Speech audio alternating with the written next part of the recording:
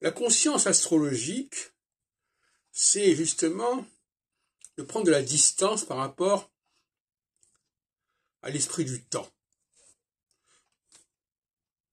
Par exemple, moi-même, j'ai pas toujours le réflexe consistant à dire à quelqu'un, vous pensez comme ça actuellement parce que là c'est la phase solsticiale, eh bien, dans quelques mois, quelques années, vous penserez autrement parce que c'est la phase équinoxiale et inversement. On a trop tendance à s'en prendre à la personne au lieu de s'en prendre au groupe et à la période. L'astrologie, c'est la science de la période, c'est pas la science de la personne. Pour prendre le contre-pied de ce que dit quelqu'un comme euh, Dan Rudyard dans son Astrology of Personality.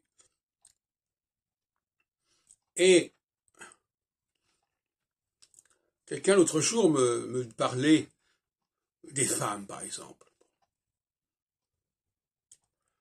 Et j'aurais dû lui dire, mais écoutez, euh, oui, vous parlez comme ça, parce que nous sommes dans une phase solsticiale.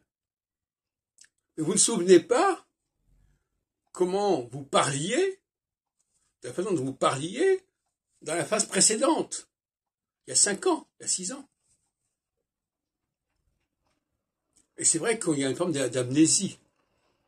Les gens croient qu'ils ont toujours pensé de la même manière. Quelle illusion.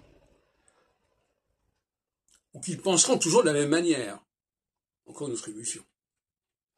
Et donc, c'est un astrologue, au sens où je l'entends, bien entendu, de faire passer le message de la relativité, pour parler comme Einstein, de la relativité de nos impressions et de nos convictions.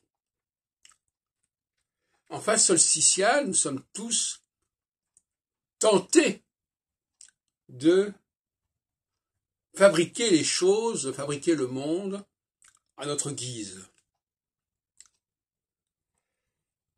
Et c'est une phase un petit peu comme cela euh, de dirais-je d'excès de, pouvoir, d'ivresse on croit que les choses peuvent changer, euh, il suffit de le vouloir. On parle de volonté politique, etc.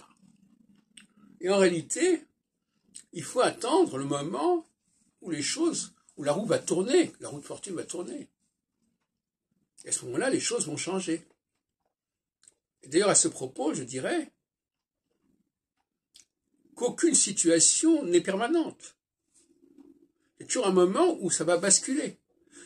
Et c'est fait pour ça. Le système astrologique est fait pour ça. Il est fait pour qu'aucune attitude ne se pérennise, ne s'éternise indéfiniment. Par exemple, quand on était en 40, ça n'a pas été mon cas évidemment, eh bien il aurait fallu dire, voilà, ben en 44, 45, euh, les choses vont changer. Euh, la logique comportementale des peuples, des foules, ne sera plus la même. Je vais attendre. Et euh, il ne faut pas non plus mettre ce changement sur le compte de telle et telle personnalité. Parce qu'en réalité, elle ne fait qu'être emportée par cette phase en question, quelle qu'elle soit.